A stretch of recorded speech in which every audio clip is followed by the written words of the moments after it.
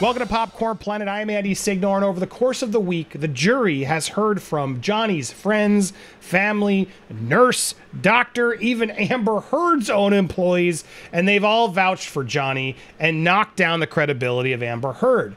But there's been one person who was there through all of it, through all the allegations, etc.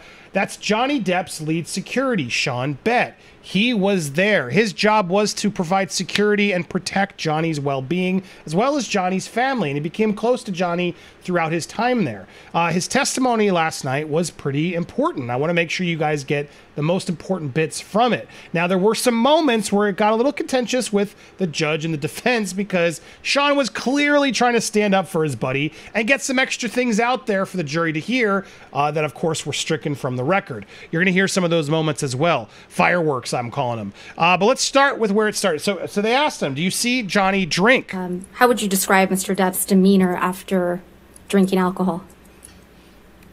His demeanor is the same as if you were talking to him. Um, I would joke around with some of the other uh, security personnel. He's, you know, my terminology would be he's kind of too cool for school. He goes into that kind of Jack Sparrow mode, and he just, you know, he's very likable. You know, whether he drinks or he doesn't drink. I've seen him slightly to- intoxicated. It's the same as if he, you know, had a glass of sparkling water. I mean, he's just very low key. He's easy to get along with, and um, you know, he just seems to me. I mean, he handles alcohol a lot better than I would. Now, uh, important all moments to sort of set the, the, the, the tone of how Johnny is as a drunk, because the defense keeps trying to throw that at him. Well, he's drunk and he gets blacked out. Well, Sean's like, I've witnessed it. It's not like they're painting it, uh, and I believe this. Johnny does seem not like doesn't seem like he gets crazy. And over the course of your employment with Mr. Depp, have you ever seen him consume drugs? I haven't. Are you generally aware that Mr. Depp has used drugs over the years? I am And how are you aware of that? from him. And would you I, I love the way he said that. It was just very clear, and Johnny's been very open about his troubles. Uh, he doesn't hide it. Unlike Amber, who hides everything, Johnny steps up and admits his faults and clearly had some issues. please describe for the jury some of your er- early interactions with Miss Heard? She was very pleasant, um, very easy to get along with. Uh, I mean, she was almost as if she was a, a next door neighbor. Just always had a smile to her face, and um, just um, you know, just you know, no issues at the time. And you know, I liked her, liked her a lot. Now, again, just like Isaac did, they're going the positive route. They're not trying to just be mean to her and pile on. No, I, I love that he was honest. He's like, no, I liked her in the beginning. She was nice. And did you have an opportunity to observe Mr. Depp's interactions with um, Miss Heard's family and friends? Now, these friends are her sister Whitney, uh, friend Rocky or Rochelle, uh, and then Io Tillett Wright, and then Josh Drew was Rocky's uh, boyfriend at the time. Uh, basically, how did Johnny, you know, treat Amber's friends is what he's about to answer. I did. Um, he was very open and warm to them. He, you know, offered them, you know, uh, whatever they needed. They were constantly coming around the estate. Um, you know, eventually he, he let a couple of them live in his penthouses downtown for free. He would let them, a few of them, drive his nice um, Dodge Challenger in and around town and take on trips. Did you have an opportunity to observe how Miss Heard's friends and families treated Mr. Depp? Now, just also want to mention she totally did that hairstyle, which I wasn't a fan, but it was clearly there to help block her from camera view this time. That's how I took it. I did. Um, they were obviously very pleasant to him because, uh, you know, I, from observing, they were taking advantage of him. Yeah, they were. That's my take as well, and it's nice to hear someone finally say it out loud. They were all taking advantage of him, Amber included, especially her friends. So they were being obviously extra nice to the hand that feeds them, and that's uh, just progressed over a period of time. Do you recall any specific instances, Mr. Bett, where um, you heard Miss Heard say something to her friends? Yes, um, the first one, I was taking her from um, Mr. Depp's property to uh, her apartment um, in the south end of the city that I believe Mr. Depp was paying for. She was He notice how he threw that in, who I believe Johnny was paying for. Not really probably supposed to add that, but he did because he's clearly trying to get more out there for the jury to understand. sitting next to me in the vehicle. Um, she was talking to a girlfriend or a friend where they were talking about another male. and she says to the friend, girlfriend, whoever she was talking to, you know, all men are idiots. You know, you shouldn't trust that guy. And then she turned to me and she said, you know, sorry, Sean, not you. I didn't mean that. And I just shrugged it off like it's not a big deal. I mean, it's not that big of a deal. Well, Sometimes we are idiots, but I need more context on that story. I noticed they went from being that loving, almost like high school couple where they were very giddy towards each other. He was very happy. She was very happy to, they started to argue. Um, they started to argue periodically, and then the arguing uh, started to progress more and more and more. And uh, it was always taking place because, you know, Ms. Heard would start this argument. Miss Heard started the arguments. We've heard that now from multiple sources, professionals. Based on your observations, did it ever appear that Miss Heard was intoxicated? There were times when I went into the penthouse or we were at the Hollywood estate and, you know, based on my training and experience in law enforcement, I could tell she was you know, slightly intoxicated. Excuse me. So that's kind of getting, uh, getting into the realm of expert testimony. He's not a designated. Expert testimony. He's not allowed to speak on his expert law enforcement. Uh, why not? But that's how it works. He's not allowed. Strict. Do you recall observing any arguments between Mr. Depp and Miss Heard? Several. As we were driving downtown, you know, she was crying. This was at the point when uh, the the arguing was taking place quite frequently, and I was telling her, I go, you know, I said, Amber, you know, this can't continue. You guys are either going to kill each other, or you're going to be in jail, and you know, with tears and everything. She says, but I love him, and I, I'm not going to lose him. And I says, but you guys can't keep doing this. Um, so we eventually got to the downtown apartments. You know, she said thank you. I dropped her off, um, and then I went back to the West Hollywood address. The constant ar- Yeah, it's like, what did you mean by that? arguing and bickering and so forth, because as I said, it was slowly progressing, and um, you know, it was just going to turn out bad eventually. There was an incident because, as I said, the arguing progressed over and over as the years continued. Um, he would text me uh, when I was working saying, you know, Objection, Your Honor. Calls for hearsay.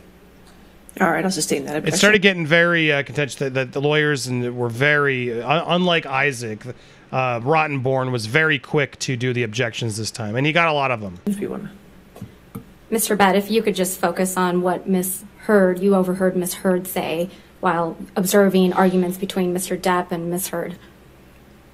Uh, I overheard her saying to him, uh, he's a fat ass, fuck you, Johnny, Jesus. and you too, Sean, uh, at one time when, you know, she went to throw a, a water bottle or a plastic cup down the stairs and it bounced kind of in Johnny's direction, but I ended up getting him and we, you know, got out of there as soon as possible. Now, this is when the fireworks really started.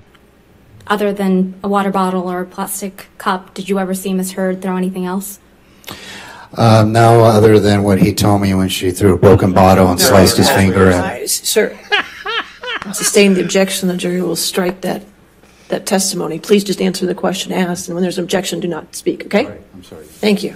Yeah, I mean, he knew. He had to have known. I I mean, that's that's why he's there to try and get it out to the jury. On, on the time he told me that she did, uh, he got it in there, but that can backfire. You got to be careful. Uh, and so this is where things got a little hairy for him and Team Depp. But there's Johnny. Just I- look, Johnny must appreciate these people stepping up for him like this. At any point during during Miss Heard's and. Mr. Depp's relationship, did you ever see any injuries on Miss Heard? No. That's an important one. Never any, never saw anything. How about on Mr. Depp? Yes. Uh, the first time would have been around 2014, I guess, um, in which he had a. Uh, Now, please share this video because I don't know if this is going to make this video get. It shouldn't. It shouldn't. Uh, but please share and get this out there so we can go against the algorithm. his finger was damaged from uh, an incident in Australia. But just heads up. I we're about saw look at it. another injury around March of 2015. They're all very minor. He minor, had but uh, good. a swollen kind of cheekbone eyelid. Mr. Bett, do you recognize this photograph? I do, And how do you recognize it? because I took that picture. Why did you take this photograph? Well, we needed it as evidence in case um, Ms. Heard tried to make allegations uh, towards Mr. Depp I was emphatic with him, telling him that's a serious mark and we need to photograph it. It was around uh, December of that same year, 2015. Um, he uh, got into an argument with Miss Heard and she scratched him and he had injuries. Objection, Your Honor. Sustain the objection, only your observation, sir, what you saw. Because he said Amber did it. He can't. He doesn't know because he didn't see that happen. So he's got to say more broad, more generally. Uh, yes, he had scratch marks um, around his nose area. Um, I believe on one of the sides of his face, in the cheek area, and then on his forehead. Scratches. Do you all over. recognize these photographs? Here are the scratches. I do And how do you recognize them? Because I took him. Uh, December, mid-December, 15th. And why did you take these photographs? I took him to show proof that uh, he once again had injuries sustained in an altercation. Yes, he had to say that more carefully because he doesn't. He didn't see it happen, so he can't say Amber did it. He, that's what he heard by Johnny. Did you ever see any similar injuries on Miss Heard? None. None. Never. We, as we approached the door, we could hear the screaming and shouting from Miss Heard. So Now this is Jerry Judge, who no longer is with us, died of cancer. What Jer- uh, Johnny's ultimate guy, our first big, guy, you know, lead guy. They were there at the scene when all this happened. I immediately opened up the door, and Mr. Judge and I ran in there. What do you remember Miss Heard screaming or shouting? It, it appeared she was shouting profanities. So once Mr. Judge and I went through the front door, so Mr. Depp would have been standing in front of us, and he glanced at us. As soon as Mr. Judge and I rounded the corner, I saw Miss Heard standing next to her good friend um, Raquel Pennington. She had this look of surprise on her face, and then she looked at Mr. Depp and us, and she shouted out loud, um, "This is the last time you do this to me." At which point, Mr. Depp looked at her and said, "What the hell are you talking about?" At that point, Mr. Judge tapped you know, Mr. Depp on the arm and told him, "Boss, let's leave." So we gathered. Uh, there was a couple of computer bags that was right on a table, and we exited the uh, front door to penthouse number three. Did you observe any injuries on Miss Heard's face? I didn't. Did you see any redness, I didn't. swelling? None. Was Miss Heard holding her face? She wasn't. Great questions. Not only did you not see it, but you'd think like, oh, wow, nothing, nothing. So what happened next? Um, we exited penthouse number three and we walked down the hallway. Um, right when we were getting close to penthouse number five door, um, Mr. Depp says, I need to get in here and look for something. So I opened up the door for him. We went inside, and that's when I saw Miss Heard's friend, um, Raquel Pennington's boyfriend, Josh Drew, and another unknown female that I had never seen before. And there was a small dog kind of um, walking around. Um, Mr. Depp, uh, I believe he said, "Get the fuck out of my apartment." So Mr. Drew nodded his head and basically said, "Okay."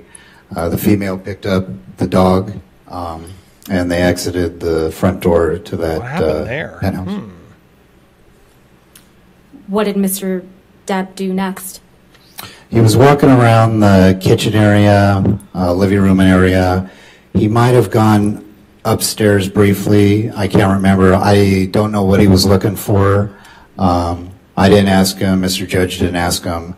Uh, eventually, um, he didn't find whatever he was looking for, and we exited penthouse number three. And while Mr. Depp was in penthouse number three, did you observe him cause any damage? No, Did you observe him cause any damage to any of the penthouses on May 21st, 2016? no, Did you see Mr. Depp become violent with anyone while at the penthouses on May 21st, 2016? Objection, leading. I'll allow, Allow That's it. She allows it. I didn't. Mr. Bett, have you ever seen Mr. Depp become violent with Ms. Heard? I haven't. There you Um, go. how- Most telling points there. She, he never saw it, and he was there. Now, some are going to say, well, "Yeah, but he's working for Johnny. He's got he's allegiant to Johnny." Uh, while it was clear he was trying to help Johnny with some of those little things he was sneaking in, I, I don't think he's going to lie for him. I think he, that you do that when you want the truth to be told, so you sort of are sharing and you believe Johnny.